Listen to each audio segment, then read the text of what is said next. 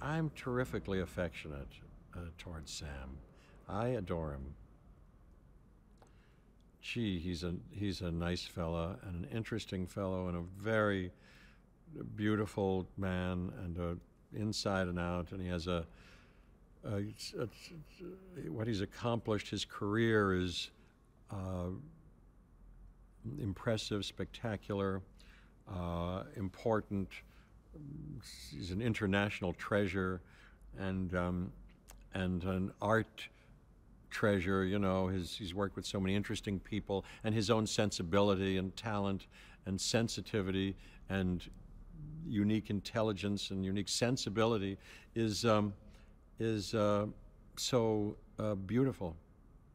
Uh, so so beautiful.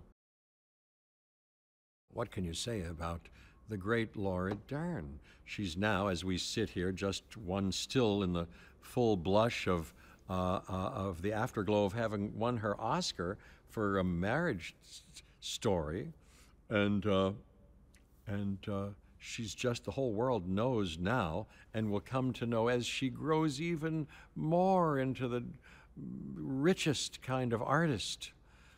You know, I, I, I look forward to the next decades of what she's going to do, and it's just. Uh, uh, uh, I, I, can imagine it's uh, golden.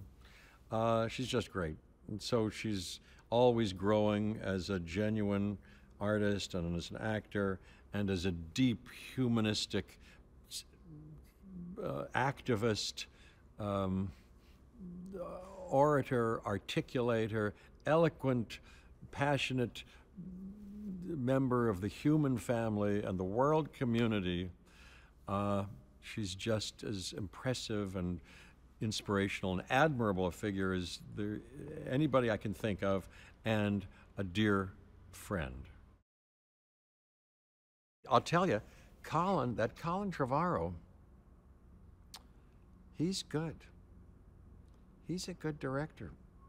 He's a wonderful director. He not only is a young man of, of uh, extreme radical talent and intelligence, uh, but sensitivity and humility and, and uh, sweetness and decisive confidence uh, in working with actors. At least I feel like I have a very simpatico relationship with him, not only palsy wise, but creatively.